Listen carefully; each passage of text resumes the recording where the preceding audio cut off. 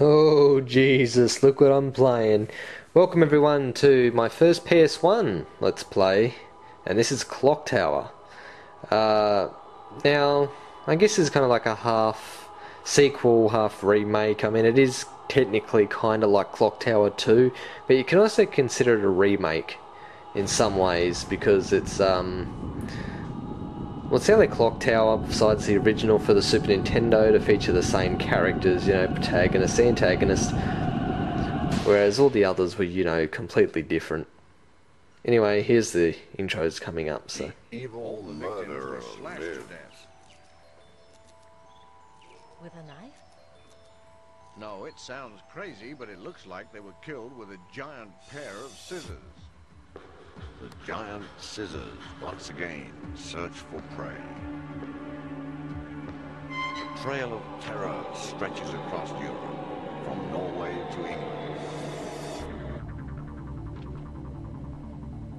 Here it is, the Barrows Mansion. We have to go there and look around, or we'll never solve the mystery of Scissorman. Got to be joking.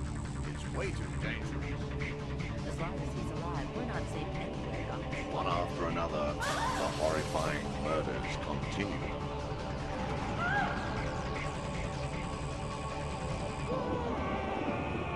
Who'll make it through this game of murder alive? Clock Tower. I have many, um, oh, fear is fascinating. It sure is. I have many, um, funny stories actually about this. I used to, me and my friends, you know, well, they're not friends anymore, but when I was a kid, when I was about 12, me and my friends used to hire this. Like, we used to rent this a lot at video stores. And, um, once, we used to find it so freaky. A lot of you may find this game lame now. But um, back then, Scissor Man was just, oh, he was freaky. And about four of us were playing it one day, me and three other guys. And uh, we are all sitting there on the lounge at, you know, my grandparents' place. And we are all sitting there playing it because we just rented it. And all of a sudden, my my father, the arsehole, he runs in with a pair of garden shears, yelling, going rah at us. And it, uh, you've never seen four kids jump on a lounge so quickly. It's freaky. God damn.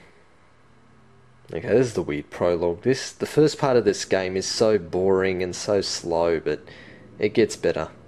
The first twenty minutes is just a drag. Professor Bart. Professor Bart. Professor Bart. What on earth are you doing, Professor? You mustn't hypnotize her like this. She's not ready to remember the murders yet. Helen, the clock tower murders are fascinating research material for me. I must know the truth of what happened. She can't take any more of this today, Professor. I'm taking her home. All right. But remember one thing, Helen. You may be her guardian, but you are also my assistant. So do as you're damn well told, woman. Professor Barton is a bit of an ass. A bit of a jerk. He doesn't care about anyone, he's a bit of a sociopath, just as long as he gets his work done. Okay, now you've got to examine everything in this area. As I said, I don't know why really. Clock Tower murders, a mass murder of over 10 victims in this case. How intriguing. Jennifer Simpson, only one of two survivors, I have to get information of her for future profiling. Materials. I love how it does that. Uh, can't examine that. I thought you could. I haven't played this for a while. Examine the cabinet. Then you just really have to do the shears, the gun, uh, the scissors. Hmm, there's a faint smell of ammonia. Wonder why. I really thought there was a a hint there, but I don't know. I wonder what happened. Maybe it's later on. A giant pair of scissors on the desk. They are a replica of the scissors used by the murderer. The clock tower case. These are like the weapon he used to slash up his victims. Pretty cool stuff. Uh, that's really all you need to examine, but it gets worse. Let's examine the light switch. Just a light switch. You smart person. The way they walk out of the door, it really annoys me. Especially when you're running. My laboratory. Lately I've been doing mostly criminal psychology research. Hmm, the staff is still here. They're trying to impress your greedy ass. Uh, this is the key, pretty much the key item for the entire game. A statue, it is cold, one of the items found at the scene of the Clock Tower murders. Seems to be hiding some sort of secret. It would be a good idea to get an expert opinion on this. Now we just talk to everyone. Professor, Helen left a few minutes ago and she looked really angry. Hmm. In other words, he doesn't give a toss. You know, Helen and Jennifer are really beginning to look like sisters, aren't they? I guess that's what happens when you live together. One mustn't let their personal feelings get in the way. Jennifer is nothing more than another subject. Ah, you cold bastard. Ah, uh, yes, yes, you're right. I wish I had a cute kid sister. A cute kid brother would be okay too. Now, you have to talk to her for that many times, but yeah, once she says that about a kid sister, that's pretty much the ending point. A stuffed animal looks like a prize won at a fair. And you have to do these things, otherwise you can't leave the room. It's pretty silly. Helen's desk. Huh, Jim Carrey forgot his mask. Scissorman's rubber mask, a kind sold in cheap novelty shops and seems to be fairly popular. People certainly buy stupid things. Professor, a newspaper reporter is here. Did you have an appointment for an interview? It's about the clock tower murders, isn't it? It's about your mama. Hmm. I guess they want to sensationalize this scissor man who really doesn't even exist. Scissor man, it'd be cool if you were real. Huh? Uh, um, just a joke. Hmm. So he wishes Scissor Man was real and he has his mask on his desk. He's Scissor Man. Harris's desk clipped out articles of the clock tower story scattered about. Seems Harris has gone somewhere. Okay, I'm going to do a quick spoiler. Harry, that Danny guy, he isn't Scissor Man. I was just kidding. Learn to accept jokes. Jesus, people. Uh, now, this is an important part of the game. This determines who you play as and where you play. Oh, Professor. A newspaper reporter was looking for you on the first floor. Oh, thank you. Now, I'm only talking to this guy once, because if you talk to him twice, you play as Jennifer. Uh, for this Let's Play, I am playing as Helen. Uh, I don't know why, but I just think that the story and everything's just a little bit better. I like the characters better. We go down to the first floor.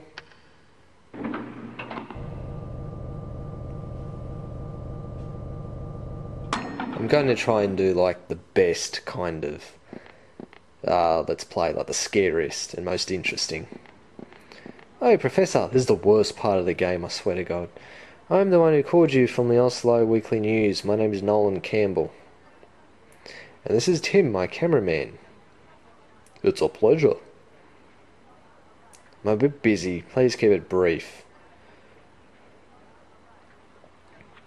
Then I'll get right to the point. Just don't poke me with it. Have you ever, have you been able to figure out who the murderer is? I can't say anything for sure yet because the well, if he was, he'd be in prison. Victim's testimony lacks credibility. I mean, like Scissorman would be in prison if he knew who it was. Oh, do you mean the victims? That's terrifying. That'd be Jennifer Simpson, wouldn't it?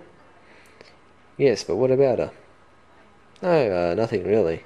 It's just that we saw her leaving a few minutes ago. And since we'd run into her, we asked her for an interview, but she refused. Oh, what a pity. You just said her testimony lacked credibility. I know what you are going to say. That monster she was talking about, the Scissor Man. and whether he really exists or not. That's it, that's right. That is what our readers want to know. Because the existence of the Scissor Man has become a symbol of terror among youngsters. Yes, that's because trashy gossip magazines like yours have sensationalized the whole thing. Ouch, that hurts. What a kick in the nuts that is. Not much I can say to that, is there? Well, let's start from the conclusion. It's fact that there was a murderer who used a giant pair of scissors as his murder weapon. But that doesn't make him into an immortal monster. Oh, I don't know. We're just dealing with some old screwball. But what about what she said? She was scared. She thought she saw something. Oh, I don't know, Davy. Oh, I see, but... Okay, that's it. Interview's over. Thank God.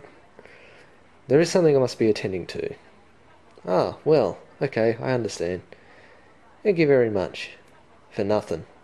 Sorry it couldn't be as much help as you had hoped. You're not sorry. I have to get back to the lab. I'm expecting another survivor of the clock tower murders. He's supposed to be a young boy about 10 years old. Imagine talking like that in real life. Wouldn't it be funny? Okay, so back to the third floor we go. Oh, sorry. There's no reason to go to the third floor. Second, I hate to waste time. Up we go. That's not the worst part. The worst part is, is yet to come. This prologue is so damn long. What's a bird doing in the corridor of a university?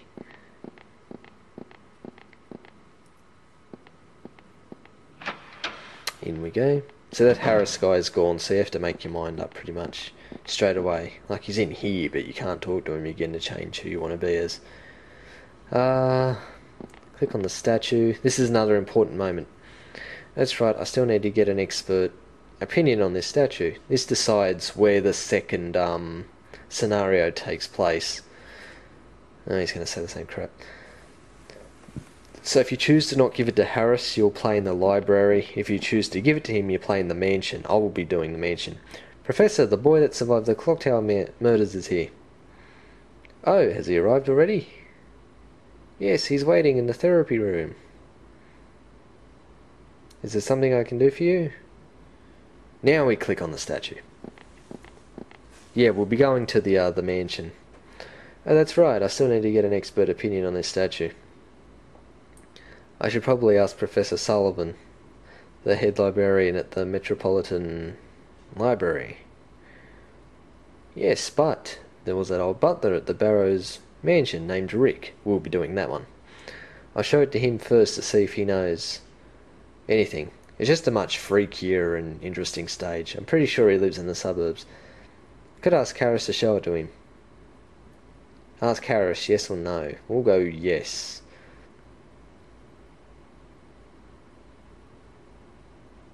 Alright, I'll ask Harris to show it to Rick.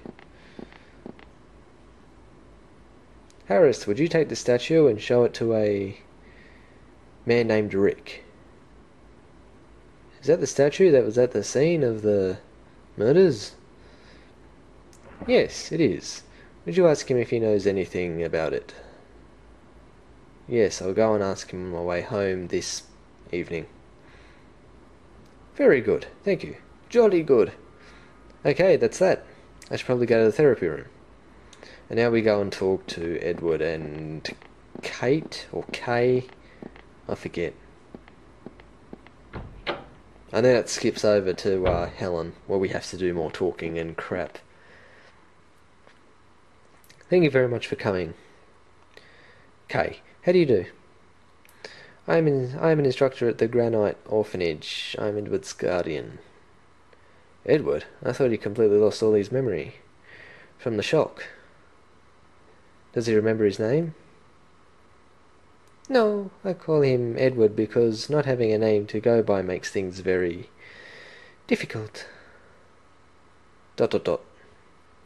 Now, since it's our first day, will you answer some simple questions for me? Okay, Edward? Now, I want you to honestly tell me everything you remember about what happened, for God's sake.